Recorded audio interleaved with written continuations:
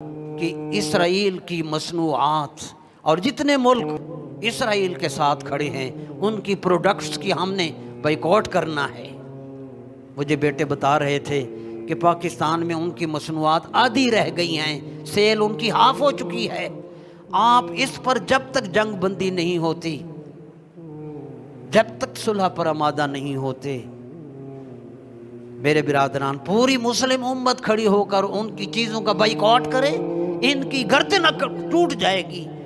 ये भूखे मरेंगे तो इनको अकल आएगी। इनके सारे अकाउंट खाली हो जाएँगे। इनको पता चलेगा कि खून मुस्लिम की कीमत क्या है। हमने ये देखना है, कारोबार रहे या ना रहे, सिर्फ़ ये देखना है कि मोहम्मद अरबी राज़ी हो जाए। बस, कुछ नहीं। ये हमारी कोशिश है।